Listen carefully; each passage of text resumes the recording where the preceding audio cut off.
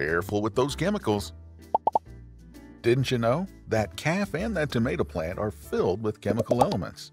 Like all living organisms, plants and animals are mostly composed of carbon, hydrogen, oxygen, and nitrogen. Think about it.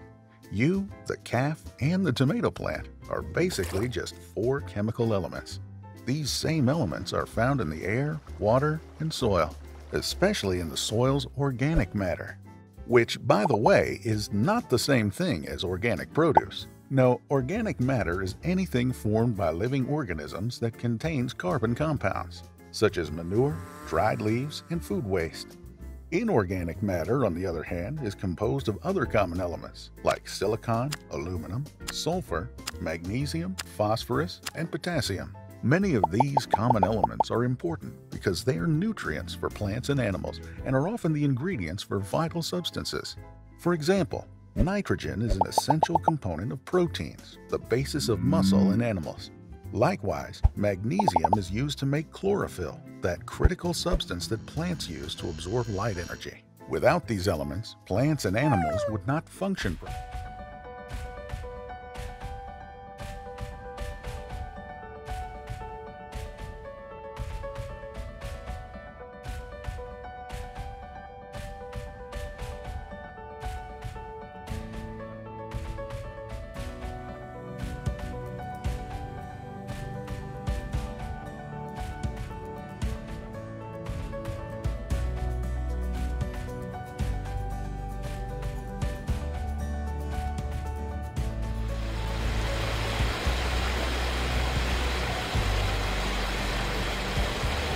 Water is essential for life, but for many people the quality of water available may be poor. Analysis of a water supply may be required to find out whether the water is safe to drink or whether it needs to be treated before consumption. Methods of analysing the quality of water are discussed in other films in this series. It is just as important, however, to ensure that the samples of water tested are representative of the water supply as a whole. Water sampling is therefore as important an activity as the process of water analysis. When a water sample is collected, care needs to be taken to ensure that there is no accidental contamination of the sample from the container the sample is collected in. During the process of sampling, during transportation of the sample from field to laboratory if no portable field testing equipment is available, and by the way it is stored prior to analysis. Please scan the QR code for your attendance. Hello, welcome to my e-lecture series. I'm Dr. Wanur Fazila Wan Ismail. At the beginning of this video, you have been introduced with chemistry in general and also some information on analytical chemistry. In this chapter, I will introduce you to chemical analysis. So what does it mean by analytical chemistry or chemical analysis? It is a science of chemical measurement. We learn analytical chemistry in order to answer four basic questions about a material sample, including what is the pH level of my swimming pool? Are there drugs found in athlete urine sample? How much caffeine is in a chocolate bar? And what is the form of contaminants in river water?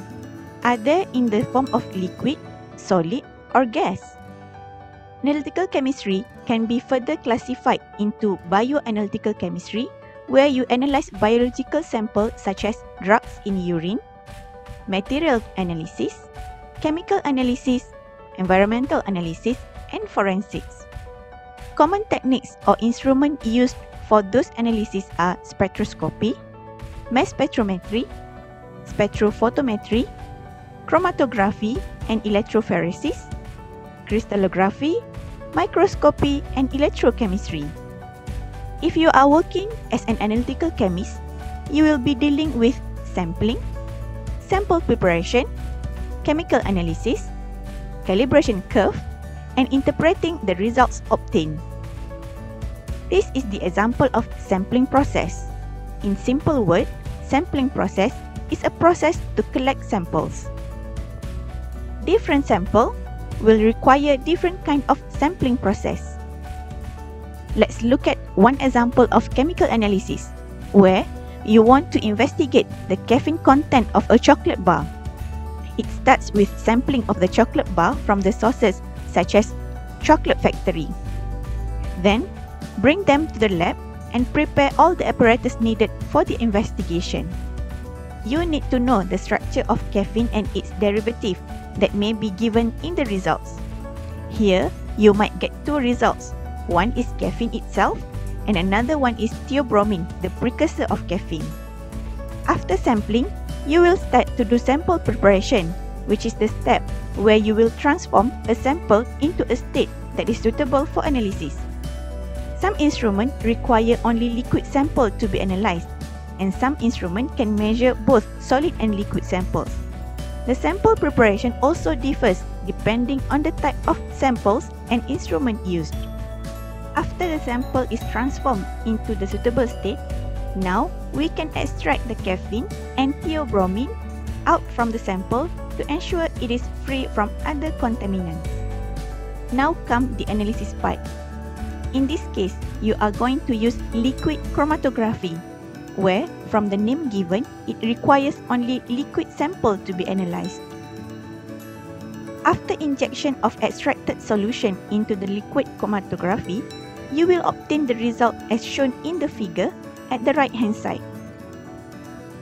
Both caffeine and theobromine peaks can be seen.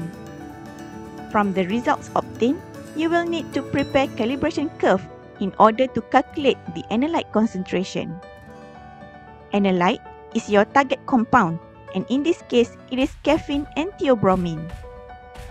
This is the example of calibration curve, a graph of detector response such as peak height versus analyte concentration. From the calibration curve, you are going to analyze the result. The way to analyze it will be explained in details in chapter 5. This is the example of results obtained from the analysis. We can see that white chocolate bar also contain caffeine but low amount as compared to dark chocolate. Next is analytical methodology. It is a set of techniques that allow us to know quantitatively and or quantitatively the composition of any material and chemical. First, you need to understand and define the problem. Then, familiarize with background of problem and history of sample. After that, you need to do literature search and compare with similar previous studies that have been reported start sampling process, sample preparation, and pre-treatment and do the analysis. Next, after you have obtained the results, apply required statistical techniques to verify the results and come out with report. These are the details of analytical methodology where you need to consider all the factors affecting all the required steps. Let's do some exercises regarding chemical analysis. First, Determine which of the given answer is the correct chemical analysis steps. Pause your video if you need more time. The correct chemical analysis steps are first, formulate the question followed by selecting analytical procedure, sampling, sample preparation, replicate your measurement to ensure validity of results, and lastly, report your findings. So the answer is C. Second question, when performing an analysis, a chemist often use a standard solution. What is a standard solution? Again, pause your video if you need some time to think. The answer for this question can be found previously when we discussed on calibration curve. So the answer is B.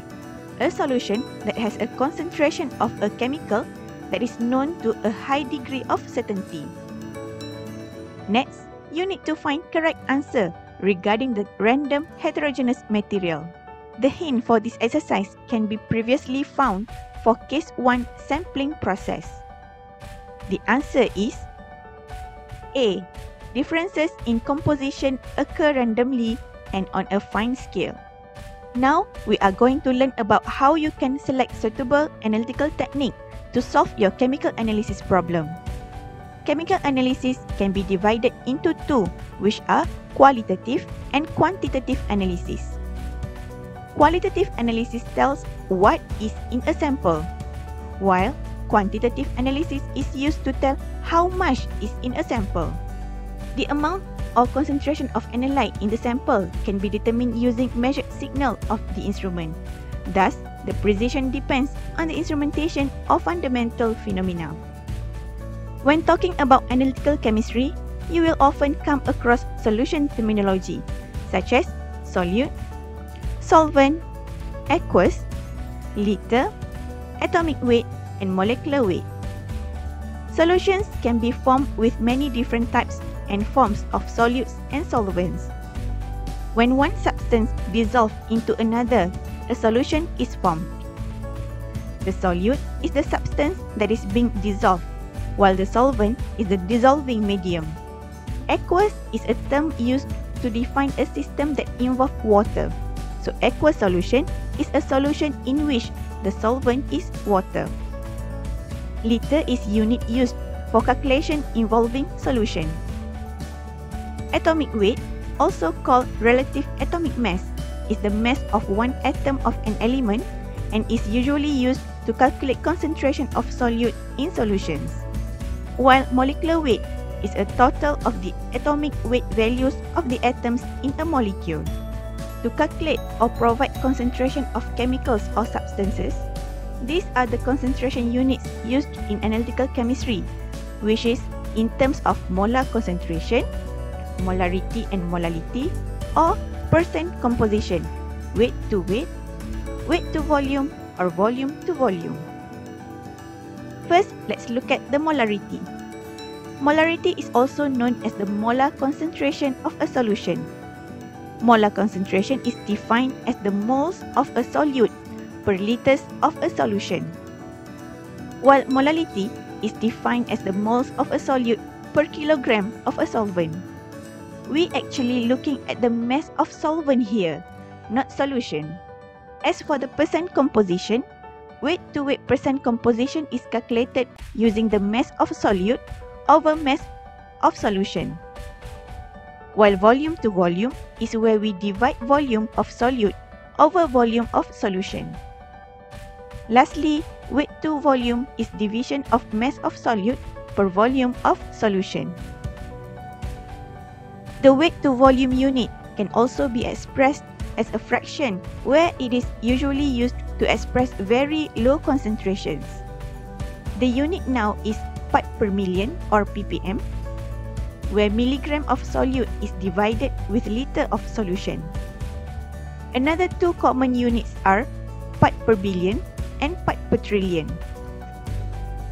Unit conversion. In analytical chemistry, you will need to do unit conversion and here are some of example of commonly used units and their conversion.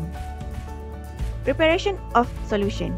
In preparing solution, usual step involved is weighing a certain amount of the reagent and dissolve it in a solvent in a volumetric flask.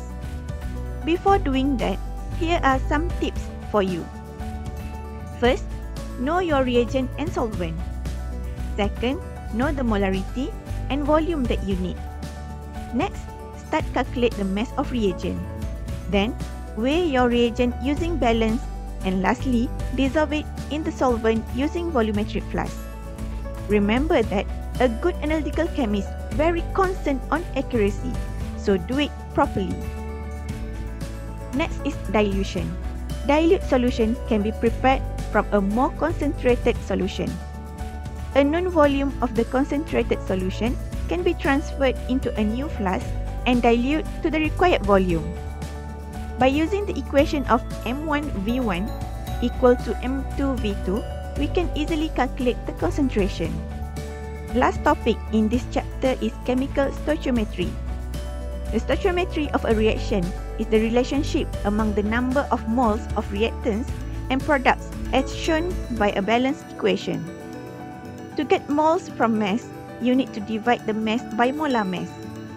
To get the mole from moles of a given chemical equation, multiply by the stoichiometric ratio and to get mass from moles, you need to multiply the moles with molar mass. These are the topics in Chapter 1 of Analytical Chemistry course. The tutorial of each topic is given in other specific videos. Go through all the given videos to deeply understand all the topics.